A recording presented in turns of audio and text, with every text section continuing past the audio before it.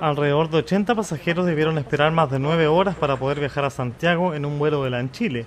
A todos les dijeron que tenían que estar en el aeropuerto a las 1 horas de la madrugada de este jueves, dado que el avión despegaba a las 2 horas.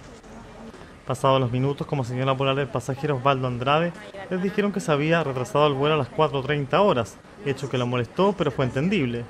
Luego de unos momentos nuevamente les comunicaron que el vuelo se había retrasado para las 6.05 horas, hecho que tampoco se llevó a cabo, por lo que los trasladaron hasta el Hotel Dreams con el objeto de que estos permanezcan allí hasta que se efectúe el nuevo vuelo. Pero como señalaron los afectados, como fue el caso de la pasajera María Luz Bello, la molestia no terminó allí, ya que en el lugar les desconocieron el hecho de que debían permanecer y por ende no pudieron utilizar las habitaciones hasta recién las 9.30 horas, cuando los representantes del AN pudieron llegar a un acuerdo con el hotel. La verdad las cosas que eh, nos tocó ir no sé cuántos pasajeros eran, pero pienso yo que eran como 80 y tanto. Eh, sucede que nos citaron al aeropuerto eh, una hora antes, significaba que esto iba a salir a las, supuestamente a las 2 de la mañana.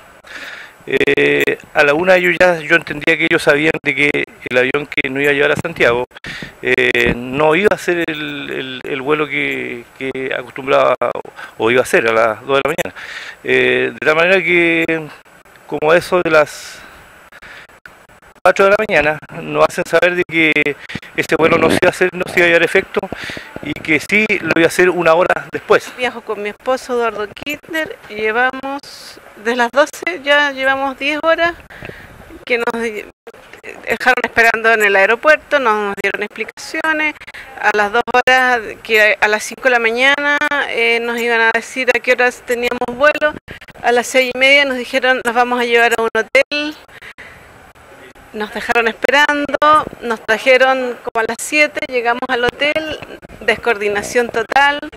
Recién hace una hora, a las 9 y media, nos, habilitaron habitaciones para descansar. dando vuelta, dando vuelta. No, si fue el pésimo, pésimo, pésimo y, y, no dieron ninguna explicación y supimos ahora había problemas con combustible, que es muy peligroso. O sea, por seguridad, obviamente que no podíamos volar. Finalmente, a las 10.30 horas, la totalidad de los pasajeros fueron trasladados en buses de la empresa aérea hasta el aeropuerto, despegando el avión con destino a la capital pasado al mediodía.